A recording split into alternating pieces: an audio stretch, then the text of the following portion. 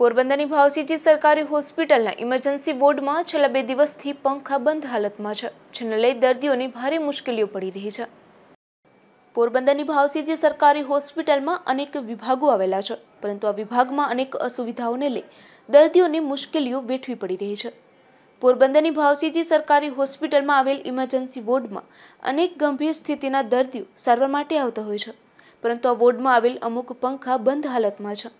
જેને લઈને અહીં દાખલ દર્દીઓને ભારે મુશ્કેલીઓ વેઠવી પડી રહી છે. જેને લઈ દર્દીઓએ પોતાના પ્રાઇવેટ પંખાની સુવિધા ઉપલબ્ધ કરવી પડી હતી. મારું નામ જિજ્ઞેશભાઈ ખોખરી છે. અત્યારે અહીંયા સરકારી હોસ્પિટલમાં ગઈકાલે મારા નાની માને અહીંયા હોસ્પિટલે ખસેડ્યા છે. તો અહીંયા અત્યારે જે વાતાવરણના લીધે ગરમીથી જે હેરાન થાય છે પેશન્ટો અને પંખા બંધ છે, તો આ લોકોને અમે સરકારી હોસ્પિટલમાં જે રજૂઆત કરેલી છે, પણ તે લોકો એવું કહે છે કે અમે ઇલેક્ટ્રિશિયનને જાણ કરેલી છે.